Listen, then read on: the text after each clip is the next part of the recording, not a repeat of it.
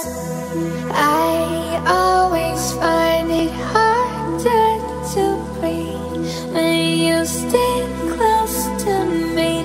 It's too much.